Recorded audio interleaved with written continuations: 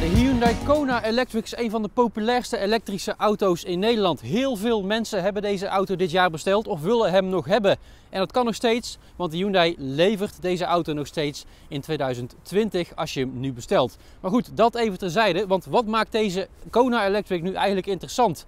We hebben vijf vragen bedacht voor deze auto en die gaan we in deze video voor jou beantwoorden.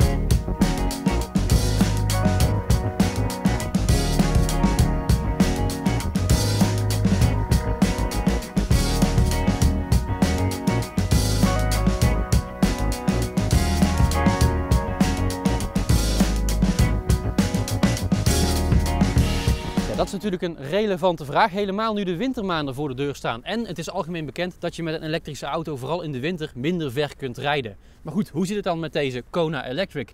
Wij rijden hier de 64 kWh batterij. Je hebt er ook eentje met 39 kWh. Maar goed, wij rijden dus de 64 kWh, de grootste batterij.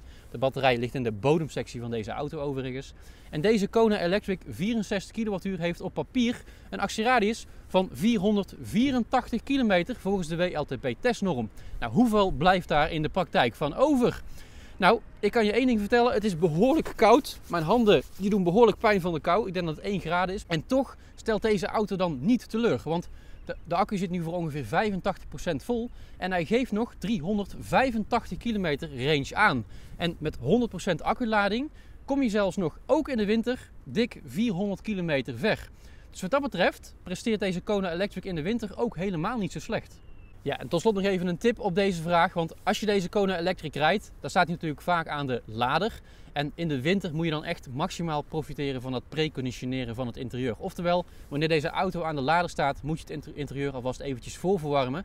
Want zo gaat er natuurlijk geen kostbare energie verloren tijdens het rijden. Dat kan je in de winter echt verder helpen. En bovendien stap je ook in een lekker warme auto in.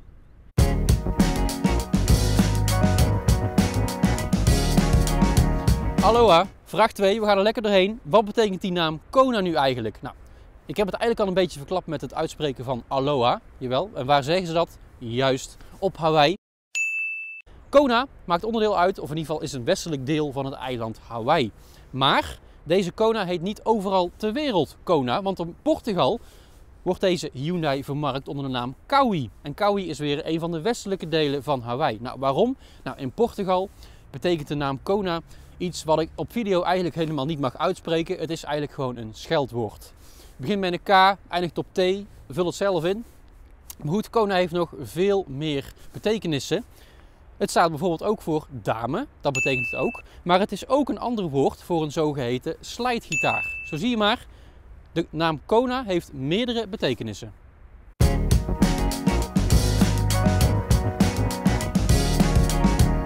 Vraag 3. Is deze Hyundai Kona Electric een beetje ruim? Nou, je moet weten, omdat het akkerpakket laag in de bodem ligt, heb je helemaal geen last van die elektrische aandrijflijn. Sterker nog, deze auto is net zo ruim als een conventionele Hyundai Kona met benzinemotor. Dit is de bagageruimte. Hier heb je wat opbergmogelijkheden voor je laadkabel. Hieronder heb je ook nog wat vakken waar je wat spulletjes weg kan leggen.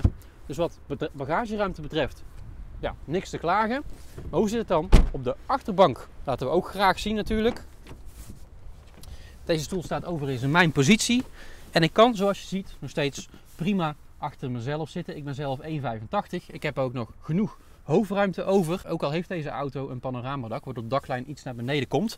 Maar ja, achter in deze Kona is het eigenlijk helemaal niet klaar. Helemaal niet voor een auto in het B-segment. En van de achterbank gaan we naar de ruimte voorin. Eigenlijk waar je het meeste verblijft als bestuurder of eigenaar van een Kona Electric. Nou, er is één belangrijk verschil ten opzichte van een normale Kona. Dat zijn deze drukknoppen.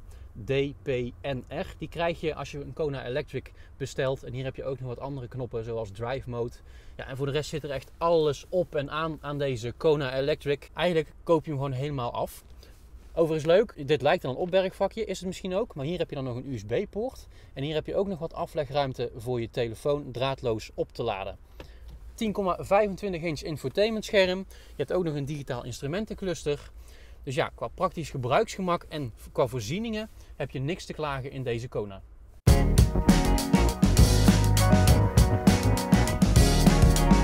Vraag 4. Is de Hyundai Kona Electric een beetje snel? Nou, Jazeker, maar dan moet je wel voor de 64 kWh batterijversie gaan. Want die heeft namelijk 204 pk en liefst 395 Nm aan koppel. Terwijl die 39 kWh versie van de Kona Electric 136 pk heeft. Dus deze 204 pk is absoluut de snelste. Heeft ook de snelste 0 tot 100 tijd, 7,6 seconden. Slechts 7,6 seconden en dat is gewoon bijzonder netjes. Helemaal voor een ja, vijfdeurs B-segment crossover. Maar 204 pk dus. Maar wat veel belangrijker is bij een elektrische auto, het koppel. En dus heb je 395 Nm tot je beschikking al vanaf stilstand. En dat betekent dat je gewoon eigenlijk overal het snelste weg bent. Of in ieder geval in stadsverkeer rijd je deze Kona Electric echt ja, moeiteloos van stoplicht tot stoplicht. En als je dan ook afremt, dan win je natuurlijk ook weer extra energie terug. En dat is dan weer een ander voordeel van deze Electric.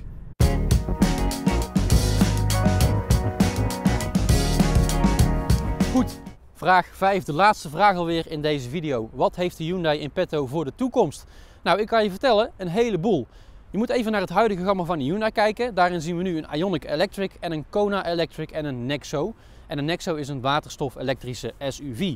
Maar de echt batterij-elektrische auto's, dat zijn dus die Kona Electric en die Ioniq Electric. En juist met die Ioniq Electric is iets bijzonders aan de hand. Want Hyundai gaat de naam Ioniq gebruiken ja, voor echt specifiek elektrische modellen. Ioniq wordt als het ware omgetoverd tot een nieuw submerk. Dat gaat ook echt Ioniq heten. En daaronder brengt de Hyundai alleen maar batterij-elektrische auto's uit. Nou, Ioniq, om het zo maar even te noemen, of Hyundai, die trapt af met de 5. Dat wordt een compacte crossover op basis van de EV45 Concept, die Hyundai in 2019 op de autoshow van Frankfurt presenteerde. En voor de rest komt er ook nog een Ioniq 6. Dat wordt een elektrische sportsedan ook heel interessant. En dan komt er ook nog een Ioniq 7 aan. En dat is weer een wat grotere, volledig elektrische SUV. En al die modellen van Ioniq komen te staan op het zogeheten EGMP-platform. En dat platform heeft de Hyundai echt specifiek voor elektrische auto's ontwikkeld. En ook Kia en het luxe merk Genesis gaan van dat platform gebruik maken. Maar je kunt dus wel stellen dat er een hoop gaat gebeuren binnen de Hyundai motorgroep. En in het bijzonder bij Hyundai. Vooral met dat hele Ionic gebeuren. Maar tot die tijd kun je dus bij Hyundai ook terecht voor deze Kona Electric. En die maakt echt indruk met zijn actieradius. Ook in de winter dus. Op papier 484 kilometer. In de praktijk gewoon dik 400 kilometer. En dat is gewoon heel erg netjes voor een auto in het B-segment. Zo, dat waren de vijf vragen alweer. Wil je nog veel meer weten over deze Hyundai Kona Electric? Check dan vooral de rijtest op autorij.nl. En vond je deze video leuk en deze Hyundai tof? Geef deze video dan vooral even een duim omhoog. En vergeet je ook niet te abonneren op ons YouTube kanaal. Voor nu heel erg bedankt voor het kijken en graag tot een volgende video.